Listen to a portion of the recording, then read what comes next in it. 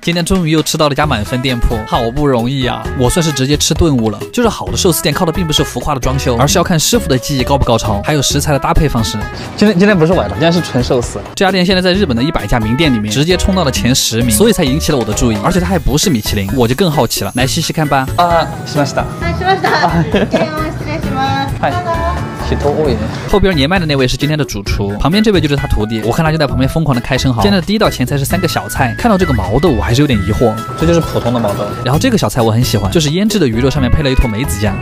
哦，就是梅子味道的腌鱼，特别爽口。接下来的刺身还挺有仪式感，就是师傅切好了之后会一片片放在你面前。第一个是鲷鱼卷的什么什么草，草本味很重，吃起来很清新，翅背就很有嚼劲了。我称它为荤海带，你们懂那个口感吧？脆嫩脆嫩的。然后这个应该是青花鱼，它的做法很不一样，很浓的烟熏味，就像那个干木柴烧起来的味道，搭配着一点小葱，特别香。然后是老朋友茶碗蒸蛋，料都是藏在下面的，是扇贝肉和鸡腿肉。老朋友还是这么好吃。然后接下来上了一份我巨吃不来的菜，生的生蚝。不过还好的是它没有很腥。但我就想问，你们喜欢吃生真的生蚝吗？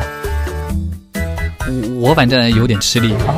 就是生蚝的味道。幸好下一道菜是个熟菜，煮的金木雕和一些蔬菜。看到金木雕像看到了救星，这种小鲜笋也很好吃。吃完这个就正式进入我们的寿司环节了。这种看着自己的寿司一个个做出来的感觉还真不一样。第一个我以为它是某种鲷鱼，然而它并不是，因为这个寿司油巨多，甚至还有点和牛的味道，脂肪好多啊。此个奥托罗的锅仔吗？斯奥托罗就是金枪鱼脸上最肥的那个部位，它真的很肥美，但是一点都不油腻，而且师傅还在上面刷了一层甜酱，所以那个金枪鱼脂肪的味道就变得更加的鲜美了。接下来这个是柠檬章鱼寿司，章鱼本身是没什么味道的，但把它烤了之后再配上一点柠檬，口感真。的提升了很多，然后这个青花鱼还很惊喜，它上面有一层果冻，那个是无花果口味的，又吃到了清奇的搭配。接下来就是海胆寿司了，第一个是蟹肉海胆寿司，长得就非常的好看，感觉蟹肉好多呀，海胆也是刚才才掏出来的，你吃的时候还得用手把它推进去。